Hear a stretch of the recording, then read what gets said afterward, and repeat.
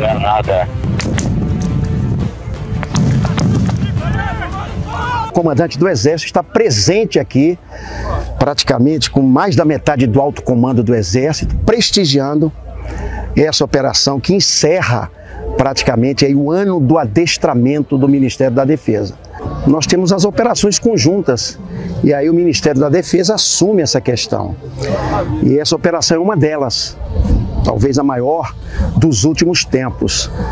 O emprego de meios terrestres, aéreos e, e navais é, muito grandes.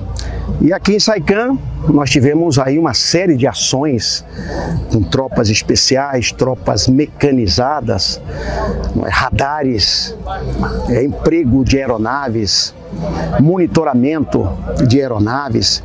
Então, uma sequência de ações que foram realizadas nos últimos dias, uma preparação nos últimos meses e que a gente está fechando o ano praticamente com essa grande operação é, Meridiano e Bagé. E assim, a Operação Meridiano e Bagé despede-se do campo de instrução Barão de São Borja, aqui no município de Cacequi, no Rio Grande do Sul, consolidando-se como o maior exercício conjunto das Forças Armadas neste ano em todo o Brasil.